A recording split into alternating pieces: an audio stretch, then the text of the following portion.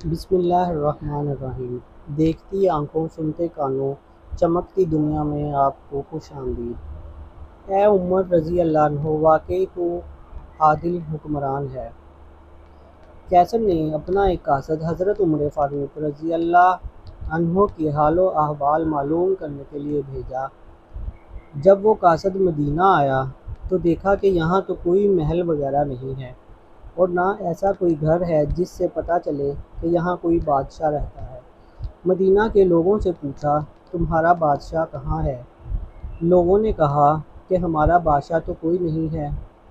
हाँ अलबत्ता हमारे एक अमीर हैं, जो इस वक्त मदीना से बाहर कहीं गए हुए हैं। वो कासद हज़रत उमर रज़ी अल्लाह तु की तलाश में निकला तो एक जगह देखा कि हज़रत उमर रज़ी अल्लाह ज़मीन को फ़र्श बनाए एक दरख्त के साया में सो रहे हैं। अपना सर अपने दर्रा पर रखा है और आसपास कोई पहरेदार भी नहीं है। जब उसने ये हालत देखी तो दिल में हैबत बैठ गई। ये ऐसा आदमी है कि बादशाहों को इसकी हैबत और रोब की वजह से चैन नहीं आता और उस, इसकी ज़ाहरी हालत ये है।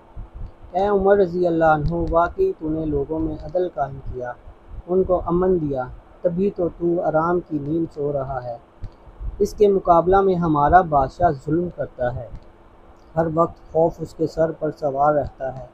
रातों को नींद नहीं आती। मैं गवाही देता हूँ कि तेरा दीन दीन हक है। अगर कासद बनकर ना आया होता तो ज़रूर इस्लाम ले आता। अलबत् मैं वापस जाकर मुसलमान हो जाऊँगा। सुबहान अल्लाह सुबहान अल्लाह सुबहान अल्लाह। हज़रत